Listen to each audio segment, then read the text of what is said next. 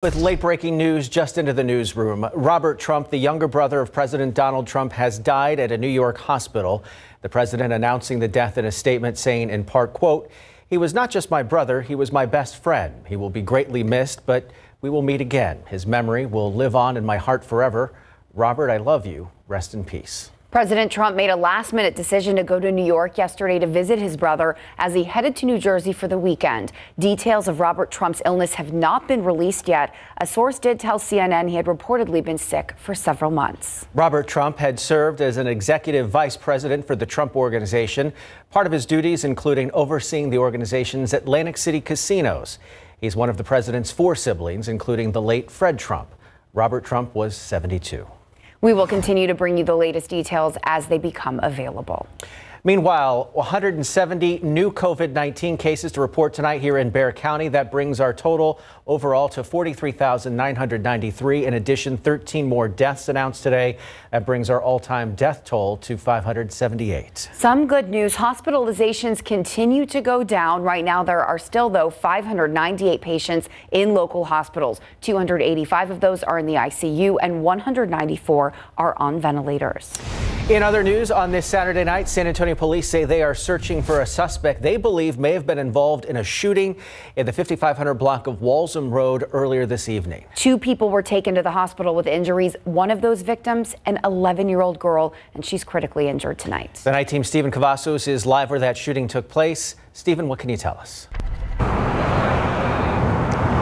Tim, Courtney, that scene just wrapped up a few minutes ago, but Courtney, as you said, that 11-year-old girl is in critical condition tonight. Now, the second victim, a 35-year-old woman, is, was only had minor injuries. Now, San Antonio police tell us that the information or the investigation that is is still in the early stages, and information can still change. But here's what we know so far. Now, this all started just after six this evening. SAPD tells us the two shooting victims were traveling down Walzem in separate vehicles when a third driver, third vehicle pulled out of a Long John Silver's parking lot and began to open fire.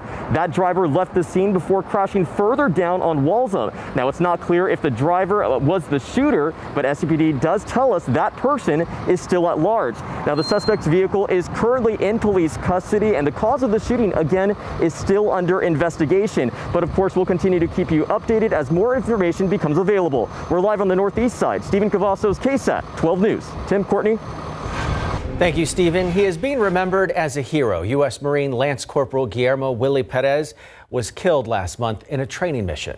Perez was honored today with a procession into his hometown of New Braunfels, where hundreds showed up to pay their respects. The night team Stephen Cavazos was there earlier this evening and shows us now how he's being honored. You don't expect these things to happen, but they do happen. It was a homecoming this community never anticipated. U.S. Marine Lance Corporal Guillermo Willie Perez, a New Braunfels native, died serving his country. Saturday, hundreds showed up as the fallen hero returned home. He already fought the good fight, kept the faith, and he finished the course. Lance Corporal Perez died on July 30th during a training mission off the coast of California. The U.S. Marine's casket was escorted by multiple law enforcement agencies into New Braunfels, a patriotic display along the route to Zoller Funeral Home. And flags continue to fly here across the city of New Braunfels to honor Lance Corporal Perez, many in this community calling him their hometown hero. Fred Adams is with the Texas Elk State Association. He says their mission is to remember fallen soldiers. Adams says he's proud to be part of a community where military matters. And that's why you saw the turnout with our folks here today.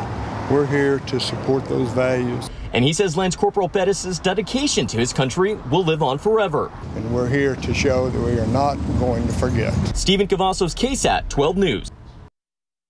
Also happening today, a private funeral for murdered Fort Hood soldier Vanessa Guillen. Her family and friends gathered for their final goodbye at a church in Houston.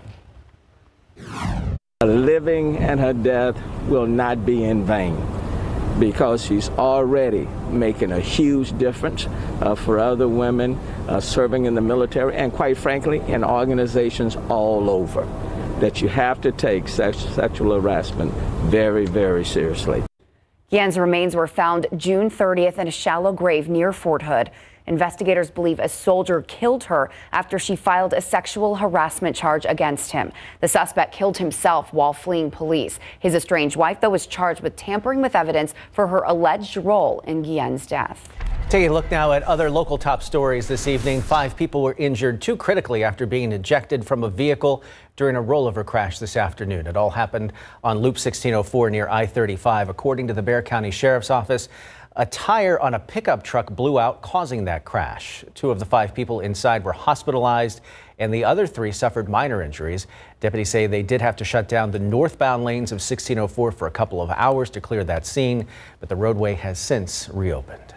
A woman who was critically hurt in a crash on the southeast side last night has now died. The crash happened on Goliad Road in Southeast Military. The man responsible, 30 year old Philip Lopez, has been charged with murder. Police say Lopez stole a vehicle and drove it down Goliad, hitting two other vehicles before colliding head on with the victim's car. We are still waiting to learn her name. Police say a man is facing a manslaughter charge in connection with the shooting death of a 22 year old man. Police say this man, 19 year old Jaime Riojas, is the one who pulled the trigger just after midnight near Rosemont and Bethel Place apartments on Acme Road. We're told several people were playing with a gun inside of a car when that victim was shot. Police say the victim proceeded to get out of the vehicle and ran towards a nearby apartment complex where he collapsed. He was later pronounced dead at the scene. Some of the suspects left the scene while others did cooperate with police. The victim has not been identified. Well, you know it was a hot day when it's 10 p.m. and it's still 94 degrees outside. Ew, ew, ew, yeah, ew is right. We had another record-breaking day as far as heat is concerned. We were able to see a high temperature of 104 in San Antonio.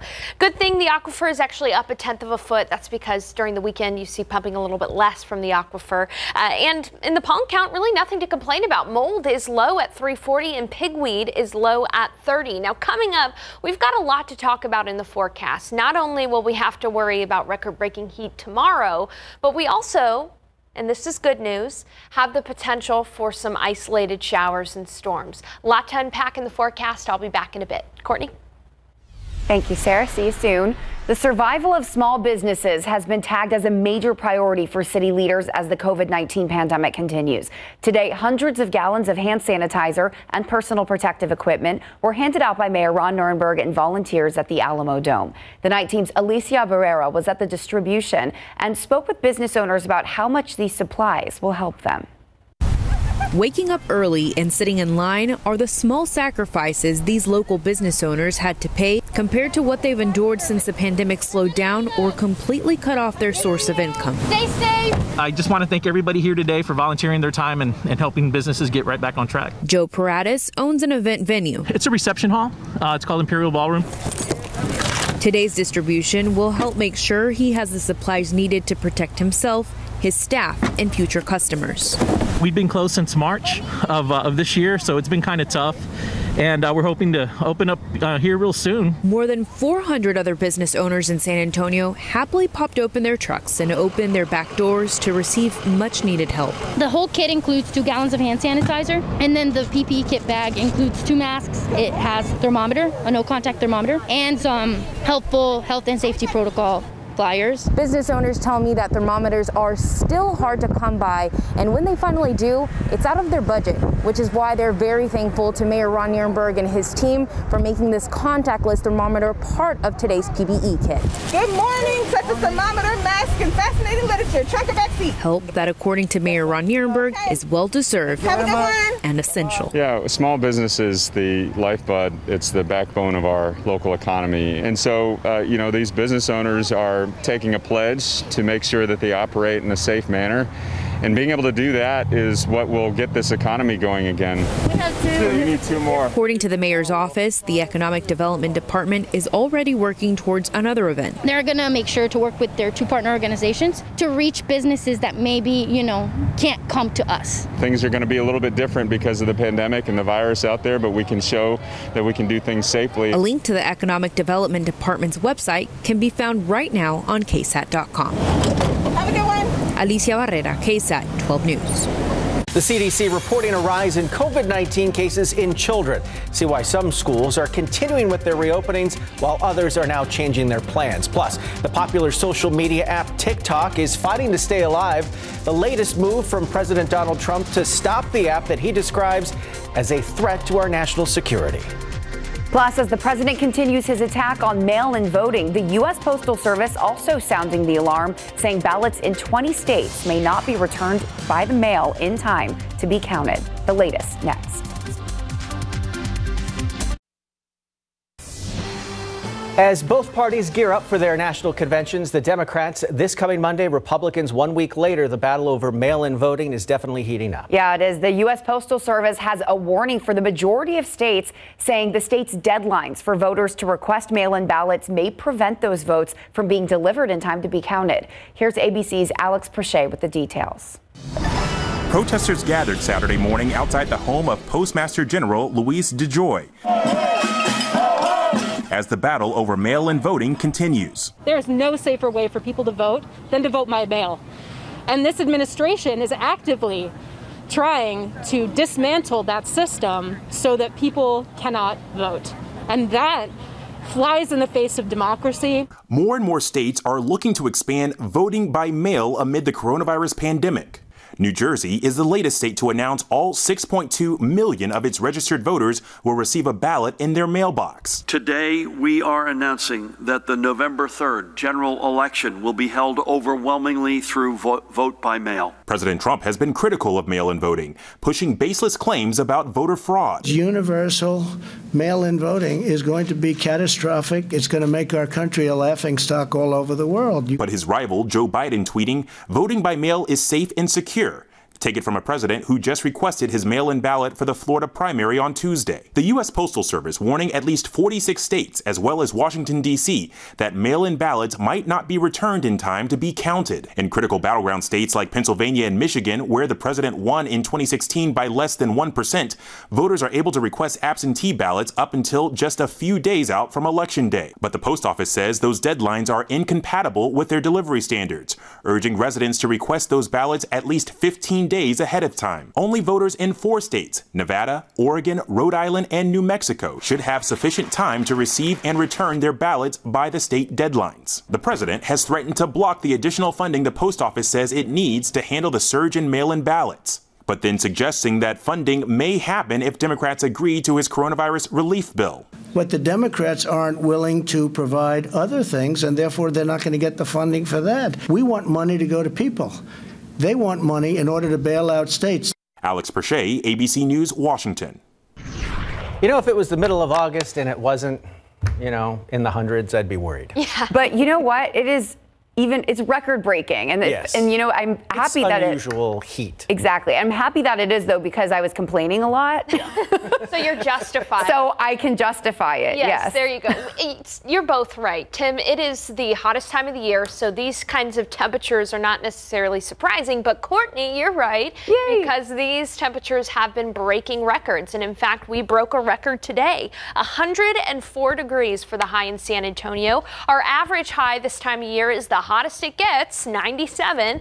That's the hottest average high temperature we see in the year, but we were seven degrees above that today. It was 108 in Del Rio, 105 in Uvalde, 106 in Carrizo Springs, 107 in New Braunfels, and 105 in Austin. So the heat was on. Even right now outside, it's still 95 degrees in San Antonio.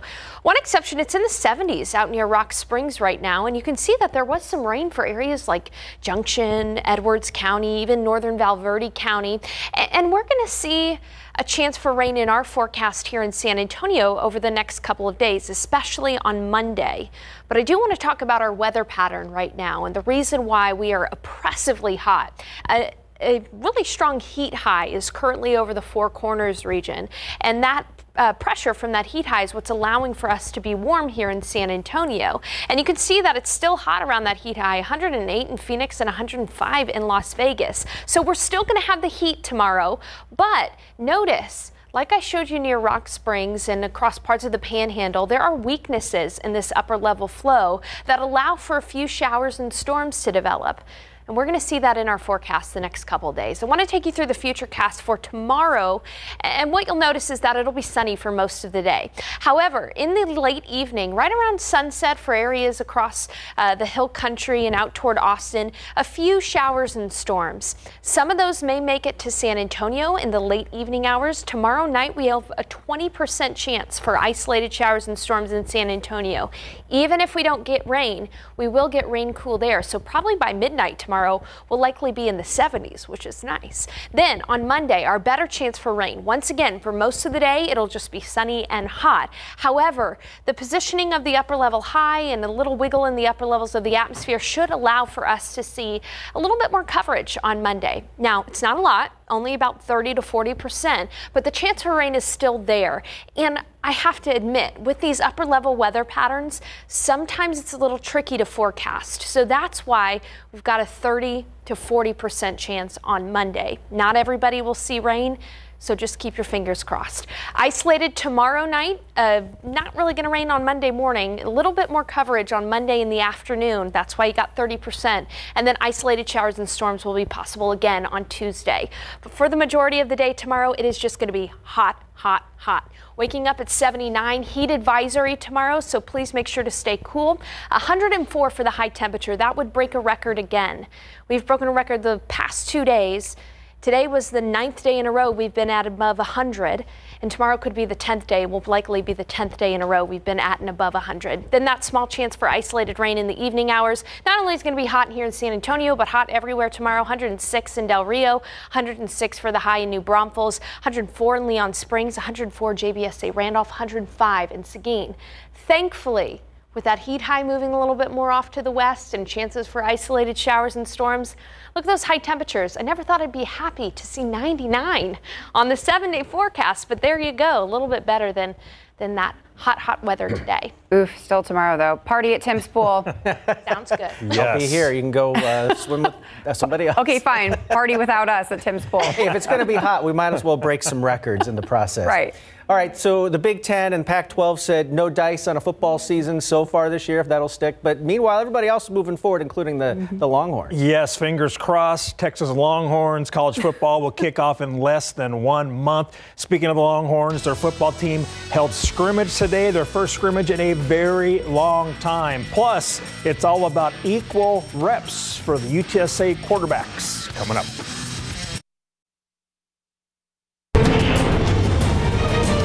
Austin, the Texas Longhorns held their first live football scrimmage since the middle of December. Overall, it was practice number eight. Head coach Tom Herman said the effort was great, but the play was sloppy at times. He said there were too many false start penalties and pre snap penalties from the offense. Uh, both the offense and defense had some bright spots. The number one and number two offenses managed to score touchdowns, while the number two defense picked off a pass. The ones and twos each saw around 40 snaps, while the threes got 12 to 15. All in all, not a bad day on the 40 acres. The offense had some success, scored a couple touchdowns on, on with the ones and the twos. The defense had a few three and outs and uh, an interception with the twos. And so um, I, I, think it was very balanced. The, the defense wound up winning it. I, I think uh, more so because the the few pre-snap penalties kind of doomed the the offense from a not just a losing a point standard or uh, losing a point area, but but also getting behind the chains and, and not being able to to make first downs on some of those drives. Herman also praised how quickly his freshmen are buying into the team's culture. As of now, Texas will host UTEP Saturday, September 12th to open the season, their only non-conference game.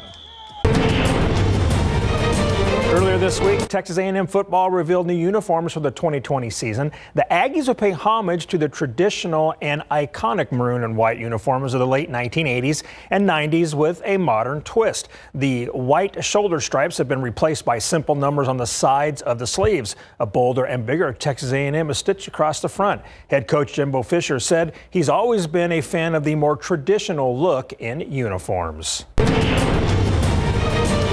UTSA football did some tackling this morning during the team's first scrimmage of fall camp. After no spring ball, you know the Roadrunners were eager to put on the pads and play some real football. Graduate transfer Josh Atkins is one of four guys fighting for QB1. Atkins was a star of Smithson Valley before playing college ball at New Mexico State, where he started 20 games for the Aggies. The UTSA head football coach Jeff Traylor is trying to make the QB competition as equal as possible. We've all been given equal reps, equal opportunity to show what we have, um, showcase our talents and our abilities.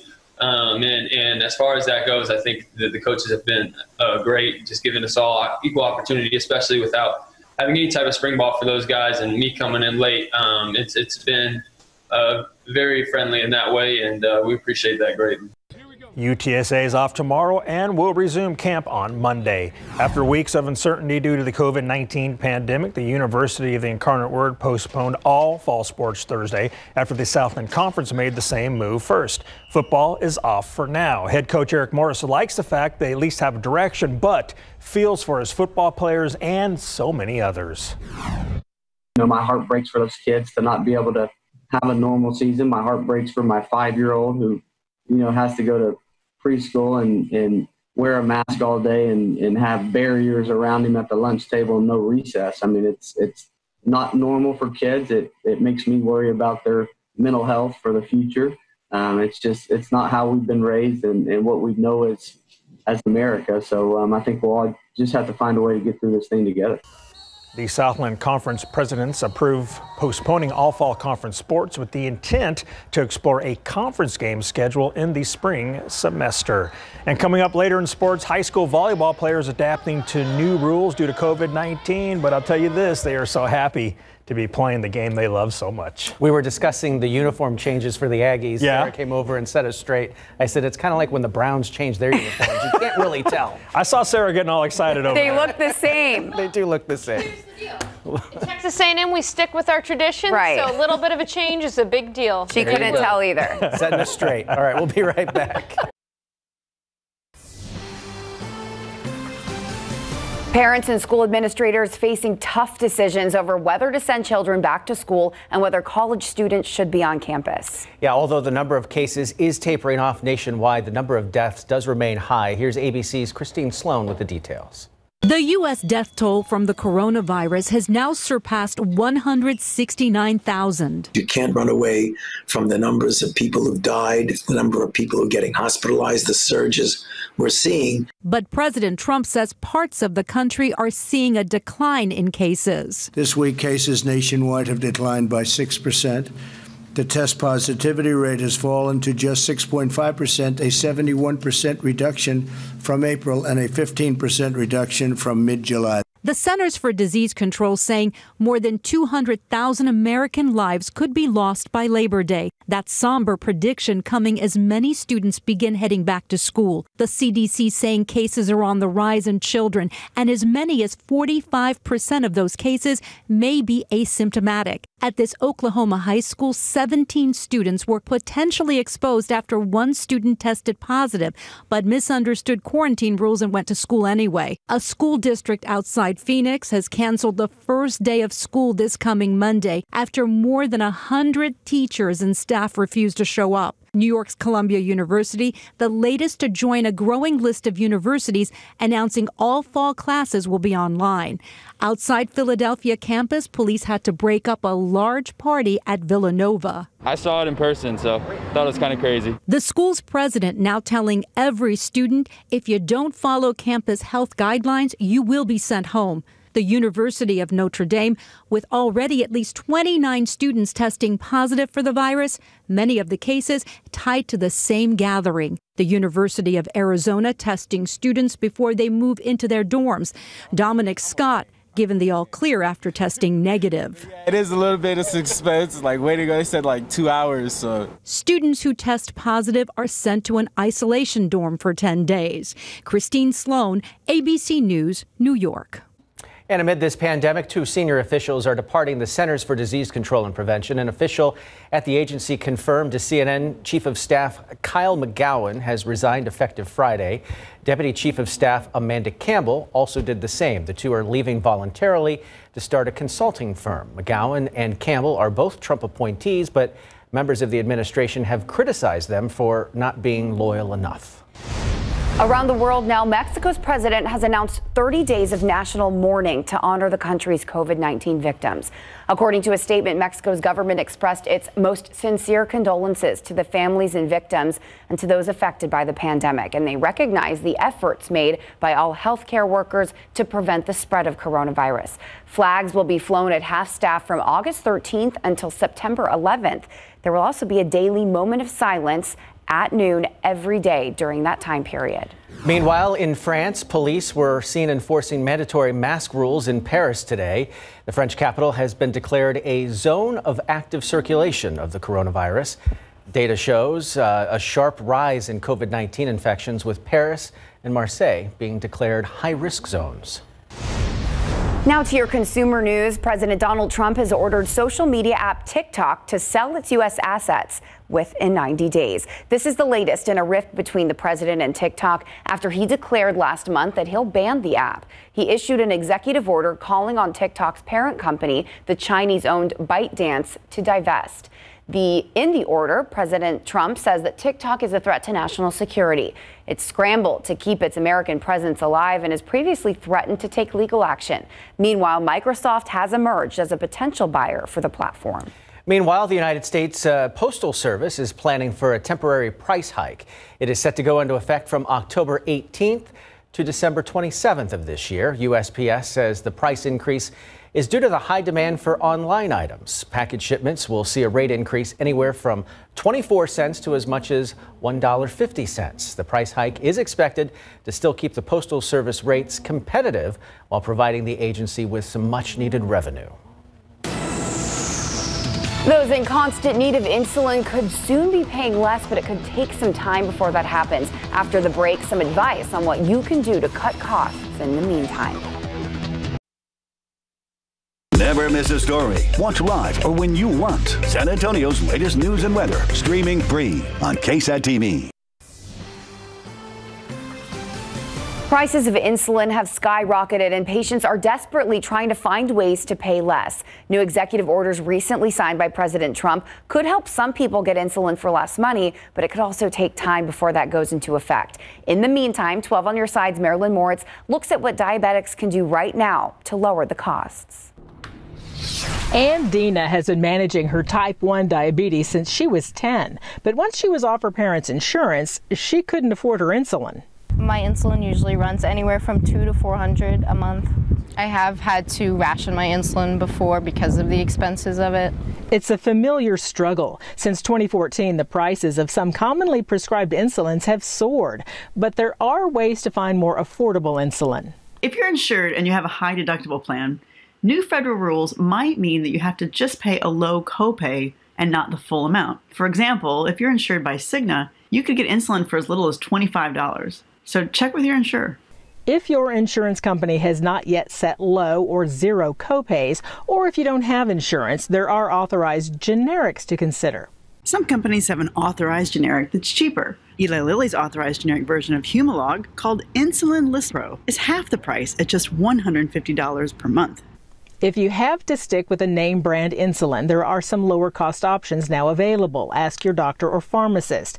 You could also consider human insulin. Novo Nordisk's human insulin is available at certain pharmacies for about $25, depending on your insurance plan.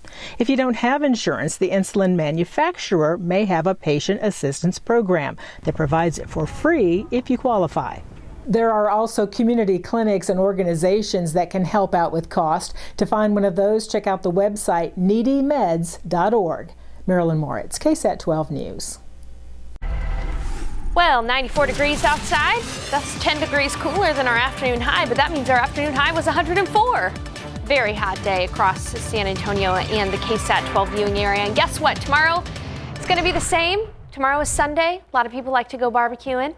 And so for your barbecuing forecast, just know that the heat is going to be on. 95 and sunny at noon, 104 in the afternoon. There will be a heat advisory in place. Southeast winds at 5 to 10 miles per hour. But notice there, a small chance, 20% for an isolated shower or storm in the evening hours. I'll be back with a look ahead of what you can expect and talk a little bit more about our rain chances coming up in a bit. Oh, it's time to talk about how hot it is again. That's, is that all we do? In the summer months, it is. In the summer months, it's typical for us in San Antonio. But guys, the good news is we are going to shake things up a little bit, have a small chance for rain at least in the next few days. And our temperatures are going to go down a bit, but we got another day tomorrow where we're going to be challenging records and likely breaking record high temperatures. Notice there on the time lapse that the clouds started to increase before sunset. Reason for that, there were some showers and storms in the hill country. I'll show you that in just a bit. But for now, it's 94 degrees outside. Humidity, not too bad out there. It actually feels okay outside, even though it's in the 90s still. That's because the sun has gone down and humidity is pretty low. But out in the hill country and out toward Rock Springs, you can see that there is still some lingering light showers near Sonora and in the northern part of Val Verde County as well. And some places out there, radar indicated rainfall of up to an inch of rain, but it's quiet here in San Antonio, and it'll be quiet for the vast majority of the day tomorrow. Highs today, 104 in San Antonio. It was 107 in New Braunfels, 108 in Del Rio, 105 in Uvalde. This is hot. Yes, it's August hot, but it's 7 degrees above the average high temperature. Today made our 24th day this year at 100 degrees or above. That is double the average of 12. I want to show you an interesting statistic. These are the years that we've had the most 100 degree days on record. Notice how they're all within the last about 11 years or so. Back in 2009, we hit 59 days. Uh, time's running out to get to those records, but still a very hot day regardless. Weather pattern, heat high. We're still under the influence of that heat high. Very hot, 108 in Phoenix and Las Vegas right now near that heat high.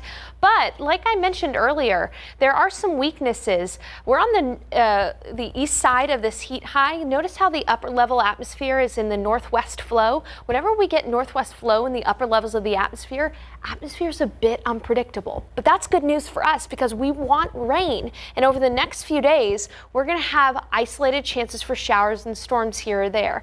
Taking you through the future cast for tomorrow. In the hill country tomorrow, in the afternoon, there will be some showers and storms. This will send rain cooled air our way so that in the evening hours it should feel pretty great. And if we're lucky, one or two of these storms will make it to San Antonio. That's why I'm going for a 20% chance for isolated showers and storms pretty much after 7 o'clock in the afternoon. So keep your fingers crossed for that. In general, though, it's going to be a hot day. We'll wake up in the mid to upper 70s tomorrow, and then afternoon highs will be well into the triple digits. 104 for the high temperature in San Antonio, 106 in New Braunfels and in Del Rio. It's going to be a hot day with a heat advisory in place, so please avoid working outside or doing stress related activity outside during the peak heating hours of the day because it'll be hard for us to cool down, even for us. Texans and San Antonians. 106 for the high New Braunfels, 104 JBSA Randolph, and 105 near Medina Lake. Now, I'm going to show you the future cast for Monday. Monday, we have a little bit better of a chance for rainfall, all because of what looks like it's going to be storm system up near the Dallas-Fort Worth area. That's going to continue to send around bursts of energy our way and even shift our wind around to the north, which isn't that common in the summertime. And notice the coverage is a little bit greater on Monday night. At least that's what this forecasting model is showing. And so I do think that we're going to have our best chance for rain in a while on Monday, but even then, it's still only a 30% chance. We've got some time to refine this forecast. Please continue to check back in with us. Check on your KSAT Weather Authority app. We'll send notifications right to your phone when we have a better idea of for sure whether or not we're getting some good rain in the Alamo City. Look at that, highs in the upper 90s. Not as bad as the triple digits, right? Well, even a small percentage makes me happy. I've seen some really brown lawns recently. Yeah. Ooh, crunchy using- lawns. Crunchy lawns. Using way too much water on mine. Yeah. All right, uh, what will the Spurs look like next season, Larry? That is a very good question. I know a lot of fans want to see them keep the up tempo Yep. pace that they used inside the Orlando bubble that was so successful. Speaking of that, DeMar DeRozan, he played well inside the bubble as he had to adapt to this new style of play. And despite COVID restrictions, local high school volleyball players are thrilled to be playing. Coming up.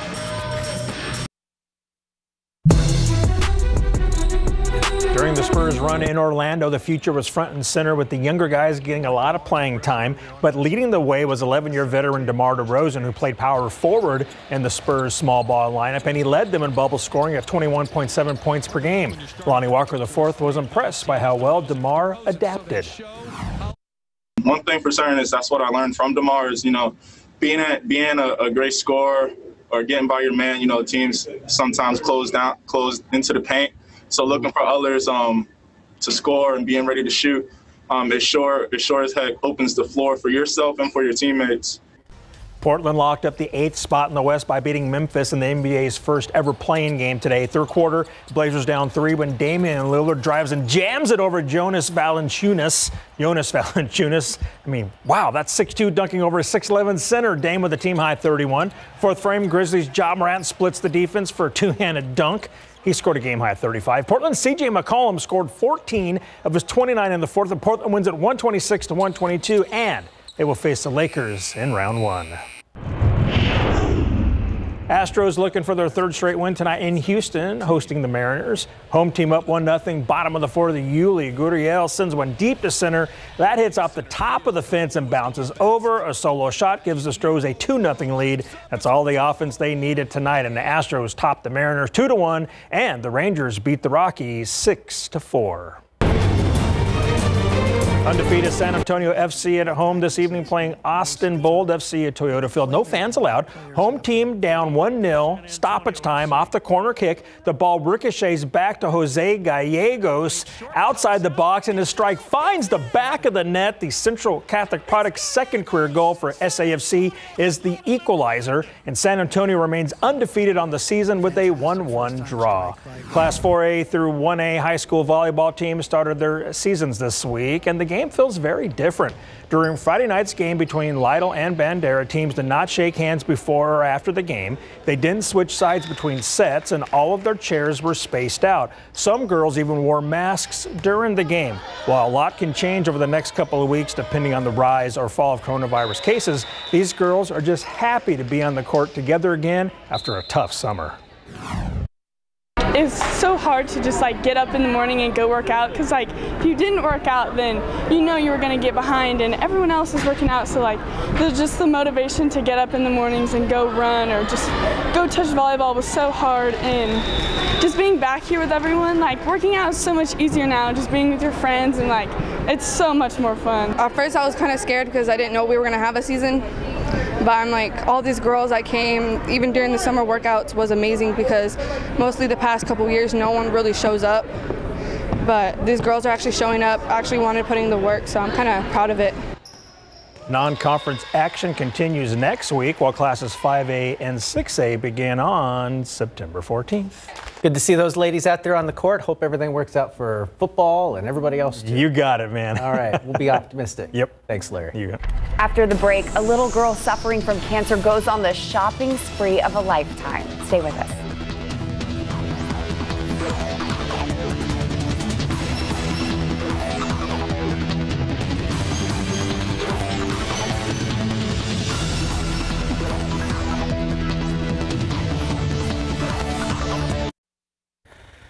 Let's wrap up this show by telling you something good. A 10 year old Alaskan girl battling ovarian cancer got her dream day courtesy of the Make a Wish Foundation. There she is. Lauren Guise was surprised with a shopping spree she will never forget. She was given more than $1,000 to spend at Target. The girl and her family had the entire store to themselves. Look at her go. Tuesday's shopping spree allowed her to temporarily forget about her medical concerns and just enjoy buying some of her favorite things. Good for her. Yeah, Great I love to see, to see that. her getting something there. Mm-hmm. That's really awesome. Unfortunately, tomorrow we are just going to see another hot day 104 degrees for the high, likely breaking that record of 103. There is a small chance for rain late tomorrow and then again on Monday. But hey, those temperatures start to get below 100, and that looks okay to me, especially in August. A brief break. That's all of our time for tonight. Thanks for watching. Be sure to catch GMSA tomorrow starting at 6.